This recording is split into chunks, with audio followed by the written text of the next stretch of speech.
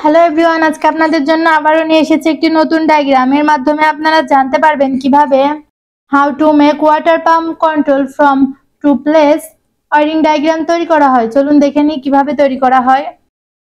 Two A switch one সুইচের মাধ্যমে কোনো জিনিস অন অফ করা হয়।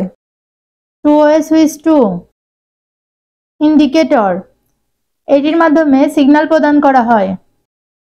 ওয়াটার পাম্প মোটর যে যন্ত্রের সাহায্যে বৈদ্যুতিক যন্ত্রকে যান্ত্রিক শক্তিতে রূপান্তরিত করা হয়, তাকে মোটর বলে। এটি ঘূর্ণীয়মান L positive line two A সুইচের ট্রুতে কানেকশন দেওয়া হলো। টু এ সুইচের ট্রু থেকে ওয়ানে কানেকশন দেওয়া হলো। টু এ সুইচ টু থেকে টু এ সুইচ ওয়ানে কানেকশন দেওয়া হলো। টু এ সুইচ ওয়ান থেকে ওয়াটার পাম্প মোটরে কানেকশন দেওয়া হলো। ইন্ডিকেটরে কানেকশন দেওয়া হলো। নেগেটিভ লাইন ওয়াটার পাম্প মোটরে কানেকশন দেওয়া হলো। ইন্ডিকেটরে কানেকশন দেওয়া হলো। এই ডায়াগ্রামটি পুরোপুরি সম্পূর্ণ হয়েছে। আপনারা এভাবে আপনাদের বাসা বাড়িতে তৈরি করতে পারবেন। ধন্যবাদ।